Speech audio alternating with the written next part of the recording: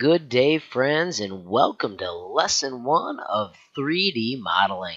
The first thing I'd like you to do is start a Google tab and type SketchUp for Schools, and then find the one called G, or is that set up for G Suite Marketplace.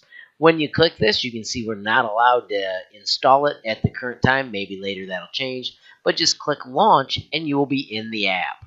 It'll pop up several warnings or several things that you need to allow. Make sure you allow all the choices.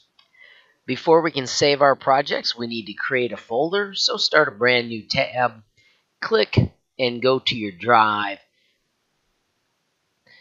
and then click the plus for new and create a folder and let's call it SketchUp, S-K-E-T-C-H-U-P. So we've got a place to store all of our items we create. Let's go back to SketchUp for Schools, and our first project is going to be a cool little turtle. Start by clicking on the dude on the screen and hitting delete, then switching from untitled and make it turtle, and then let's also type sandbox.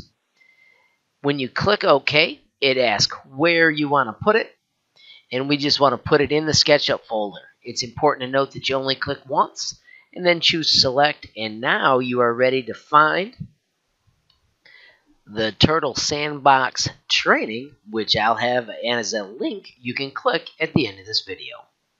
Thanks for watching. Please like, comment, and subscribe.